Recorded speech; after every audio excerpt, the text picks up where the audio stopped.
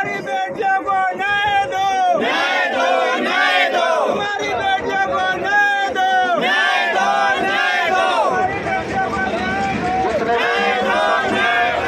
सरकार की तानाशाही रवैये और सरकार की नीति और नीयत के खिलाफ जो है वो मोर्चा खोल दिया है। सोनिया दुहन पैदल मार्च के लिए निकल चुके हैं। जंतर मंतर तक पैदल मार्च निकाला जाएगा। सरकार के तानाशाही रवैये को लेकर ये मार्च निकाला जा रहा है क्योंकि पहलवान जो है तैतीस दिन से अपने इंसाफ को लेकर जो है वो फ़िलहाल बैठे हैं। फ़िलहाल आप तस्वीरें देख सकते हैं। ये बाँस टोल से जो है जंतर मंतर तक पैदल मार्च जो है वो निकाला गया है। लगातार जो है इंसाफ के लिए, बेटियों के इंसाफ के लिए सोनिया दुहन ने जो है वो आवाज़ को बुलंद किया गया है। मौके की तस्वीर है। बाँस टोल से जो है वो फ़िलहाल जो है पैदल मार्च जो है वो निकल चुका है। हज़ारों की संख्या में लोग हैं। किसान संगठन खापों के तो तमाम प्रतिनिधि हैं। फ़िलहाल जो है, सोनिया दून से फ़िलहाल बात कर लेते हैं। क्या कुछ वो कहना चाहेंगे?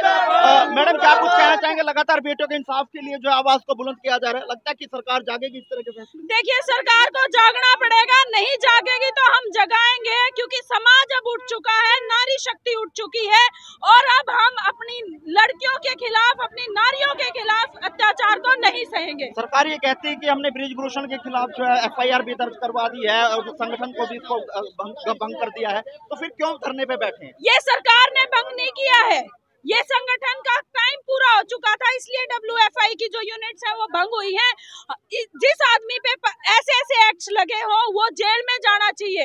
एक माइनर बच्ची के अपराध के, उसमें एक्ट लगा हुआ है ब्रजभूषण शरण पे, उसे जेल में होना चाहिए। वो बाहर क्या कर रहा है? अगर सरकार इतना ही न्याय देना चाहती है तो वो जेल में डाले।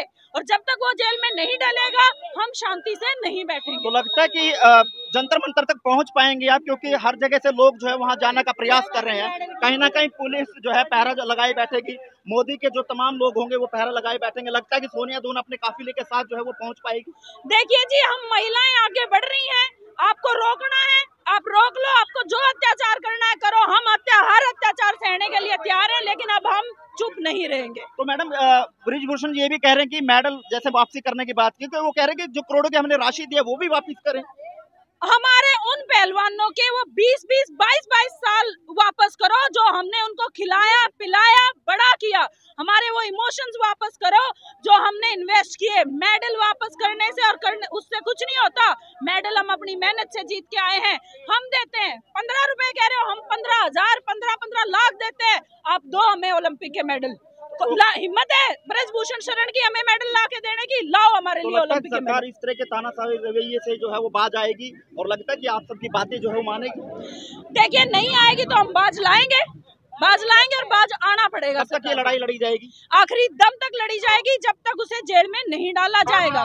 चलिए मैडम हमारे साथ मैडम क्या कहना चाहेंगे? लगातार जो है अब सोनिया दोहन जो है बेटियों के लेकर इंसाफ के लेकर आवाज़ उठाती रही है। आज पैदल मार्च निकाला गया हाँ। जी, आज पैदल मार्च ये हमारी बेटियों के मान और सम्मान की लड़ाई है और हम आखिरी दम तक ये लड़ाई लड़ते रहेंगे। 28 तारीख को जो संसद कूच के लिए हमारा ऐलान हुआ है, मैं रोहतक से हूँ। मैं अपनी बहन सोनिया के साथ में आज समर्थन देने के लिए आए की पूरी रोहतक की महिला टीम उनके साथ में खड़ी है और हम मोदी सरकार को चेतावनी देना चाहते हैं। जो उन्होंने संसद भवन पे अनाउंस किया है ना कि हम उद्घाटन करेंगे अट्ठाईस तारीख को महिलाएँ ही वहाँ पर जाकर वहाँ का उद्घाटन करेंगी। चलिए आप इस समय बास टॉल से ये तस्वीरें देख रहे हैं, जहाँ पर मोर्चा सरकार के खिलाफ खोल दिया है, क्योंकि सरकार तानाशाही रवैया अपनाए हुए।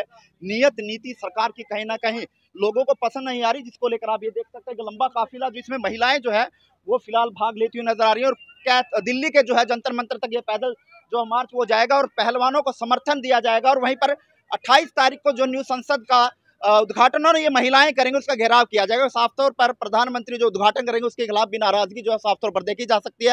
लेकिन बेटियों के इंसाफ के लिए लगातार सोनिया दोहन आवाज़ बुलंद करती हुई नज़र आ रही है। इस वीडियो को ज़्यादा शेयर